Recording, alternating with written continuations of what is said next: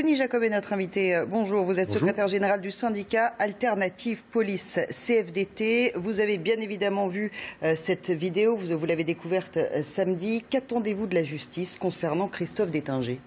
Écoutez, on attend euh, que la justice soit particulièrement ferme dans, dans ce dossier, non pas pour que euh, on fasse un, un, exemple, mais que l'on envoie quand même un signal de fermeté vis-à-vis de tous les casseurs auxquels nous sommes euh, confrontés maintenant depuis près euh, de deux mois sur les différentes manifestations parisiennes et en province que l'on a pu connaître. On ne peut pas continuer à avoir ce genre d'individus qui, au prétexte d'une manifestation légitime, puisse venir quelque part régler ses comptes avec les forces de sécurité.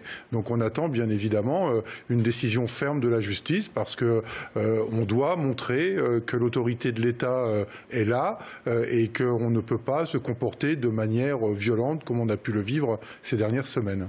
Alors une cagnotte hier avait été ouverte en ligne justement pour soutenir Christophe Détinger, l'aider entre autres à payer ses frais d'avocat avant d'être annulé. Est-ce que la démarche, cette initiative vous a choqué? Ah, complètement, c'est totalement immoral de voir une cagnotte qui peut être organisée euh, pour justifier des actes de violence, une fois de plus, de haine qu'on a pu euh, connaître. Donc moi, je me félicite euh, que la, la, la, plateforme Litchi, mais qui est une, filiale du Crédit Mutuel, ait arrêté cette cagnotte parce que ce n'est pas acceptable. Et puis alors, il y a quand même un paradoxe, c'est que quand on voit cette, cette cagnotte, elle était signée des Gilets jaunes, le vrai peuple français, donc déjà, rien que l'expression euh, laisse imaginer toute l'idéologie qu'il peut y avoir euh, euh, derrière. Mais en plus, c'est autant paradoxal quand on sait que les Gilets jaunes manifestent pour leurs problèmes de pouvoir d'achat, qu'ils ont du mal à boucler leur, fin de mois, mais qui n'ont pas de difficulté à organiser une cagnotte de soutien. Donc voilà, nous, on, se satisfait que cette cagnotte soit close. Alors une autre cagnotte a été créée hier en fin de journée, cette fois-ci pour soutenir les forces de l'ordre qui ont subi des violences lors de, lors de ces manifestations.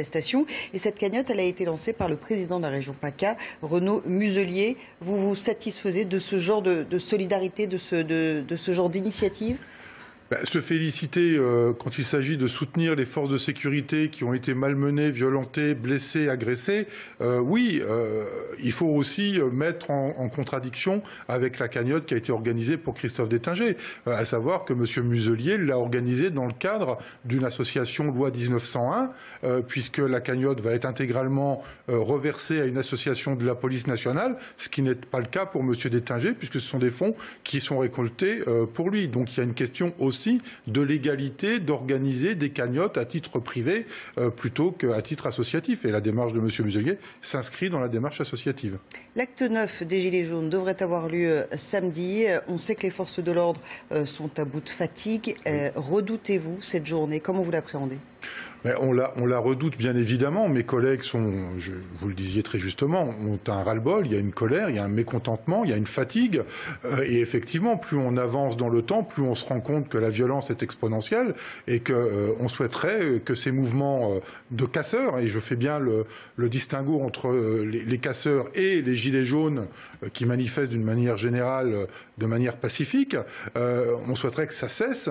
Euh, donc s'il faut mettre les moyens euh, pour euh, arrêter une bonne fois pour toutes ce qui se passe notamment sur la capitale, mais il y a aussi des villes en province où on, a affaire à, des casseurs, eh bien tant mieux. Mais il ne faudrait pas qu'on reparte à nouveau pour une semaine et puis une autre et puis encore une autre et puis que ça ne s'arrête pas. Les, collègues en ont assez.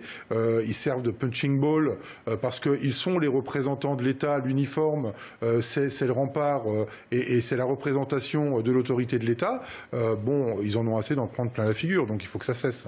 La réponse d'Edouard Philippe en début de semaine, euh, elle a été essentiellement d'ordre sécuritaire, justement, pour euh, contrer ces violences au sein des manifestations des Gilets jaunes. Est-ce que euh, vous avez été convaincu par les annonces qu'a faites le Premier ministre? Alors, sur l'aspect sécuritaire, je ne vais pas vous dire que je ne suis pas convaincu. La, la majorité... Oui, ça veut dire que vous êtes à nouveau sursollicité? Oui, euh, alors euh, normalement, ce qui est annoncé, c'est pour soulager euh, notre travail. Alors on pourrait rentrer dans le fond du sujet parce que certains revendiquent la création de nouvelles dispositions législatives pour les policiers.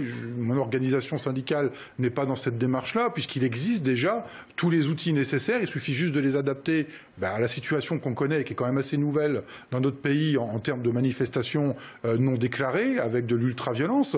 donc ce sont des mesures que nous revendiquions Edouard euh, Philippe euh, les confirme, on ne peut que euh, s'en féliciter. Le souci, c'est qu'en tant que citoyen aussi, l'aspect sécuritaire nous concerne, mais si derrière, il n'y a pas une réponse politique d'apporter rapidement pour régler les problèmes des Gilets jaunes, eh bien, c'est une fois de plus les policiers qui vont devoir faire face à nouveau dans une semaine, peut-être dans 15 jours, à l'ultraviolence. Donc, je me répète, il faut que tout ça, ça cesse. Denis Jacob, pour revenir aux annonces sécuritaires faites par le Premier ministre en tout début de semaine, est-ce qu'elles vous ont euh, convaincues Sont-elles suffisantes selon vous? Est-ce qu'il ne fallait pas euh, peut-être annoncer des mesures davantage politiques? Alors euh, oui, euh, les mesures sécuritaires euh, qui nous permettent de travailler mieux, plus efficacement pour éviter d'être toujours confrontés à l'ultraviolence sur certaines manifestations vont dans le bon sens. Ce sont des revendications que nous portions au titre d'alternative policier FDT. Donc on ne peut que se féliciter qu'il y ait une adaptation des outils qui existent déjà. On ne demande pas, nous, la création de nouvelles dispositions législatives. On a un fichier, le, fichier de prévention aux atteintes à la sécurité publique qu'il convient de, modifier euh, et d'adapter aux situations qu'on rencontre sur les manifestations aujourd'hui. Et euh, je dirais la chose sera, entendue. Après, effectivement, euh, si on veut arrêter une bonne fois pour toutes d'avoir des confrontations physiques comme on les connaît depuis ces dernières semaines, particulièrement violentes, avec de nombreux blessés parmi mes collègues policiers, mais aussi gendarmes, il faut effectivement qu'il y ait une réponse politique. C'est la seule réponse qui permettra de cesser ces manifestations violentes. C'est la réponse politique, c'est pas la réponse policière, c'est pas les policiers qui vont régler le problème On va euh, parler de ces cagnottes qui ont vu le jour. Tout d'abord, celle qui a très vite été supprimée, donc via la plateforme Litchi. Et puis ces cagnottes euh, qui ont donc vu le jour pour soutenir les membres des forces de l'ordre qui ont été victimes euh, de violences pendant ces manifestations des Gilets jaunes. il y en a plusieurs, dont une lancée par le président de la région PACA, Renaud Muselier. Est-ce que ces initiatives, ce genre d'initiatives vous touchent personnellement? Oui, bien sûr que ça nous touche. C'est une forme de, soutien dont on a euh, besoin. Euh, euh, et, celle qui a été lancée par le président de la région PACA en est une. D'autant que c'est une initiative qui s'inscrit dans le cadre d'une cagnotte associative qui sera totalement reversée à une association de la police nationale et non une cagnotte privée qui serait reversée directement à une personne, puisque de toute façon, légalement, je ne suis pas sûr qu'on en ait le droit vous savez qu'un appel à dons, euh, normalement, euh, surtout quand il est national, est conditionné à déclaration préalable auprès de l'autorité euh, administrative où est implantée l'association, donc en l'occurrence le préfet. Enfin voilà, le, don, ça ne se fait pas n'importe comment et comme on veut. il y a des dispositions légales qui encadrent le don et bon, celle de Monsieur Muselier a l'air de s'inscrire dans ce cadre-là. moi, je suis pas juriste, donc, mais en tous les cas, il a annoncé clairement que ça serait reversé à, à une association, donc ce n'est pas contestable. Renaud Muselier est-il dans son rôle en tant que euh, membre du Parti Les Républicains et président, président de la région PACA? Oh, Il y a sûrement une volonté de, la droite de prendre clairement euh, le côté des forces de l'ordre. Ça, c'est assez traditionnel euh, à droite. On a vu les, les, Républicains qui ont quand même très vite condamné les actes de violence commis à l'encontre des forces de l'ordre. Donc, effectivement, Renaud Muselier, il est dans un cadre il s'inscrit dans un cadre qui reste évidemment très politique. Il y a une volonté très nette de dire que le parti de l'ordre, que le parti de la fermeté, aujourd'hui, il se situe à droite de l'échiquier politique, à un moment où on voit bien que le gouvernement eh a du mal précisément à rétablir l'ordre dans la rue, puisque tous les actes, toutes les manifestations des Gilets jaunes ont connu des violences plus ou moins importantes. Donc clairement, la droite va essayer de capitaliser là-dessus. Pour l'instant, ça ne fonctionne pas puisque dans les sondages, dans les intentions de vote, eh bien les, Français ne reconnaissent pas cela aux, Républicains. Denis Jacob Oui, euh, et c'est d'autant vrai que nous n'accepterions pas qu'il y ait une quelconque forme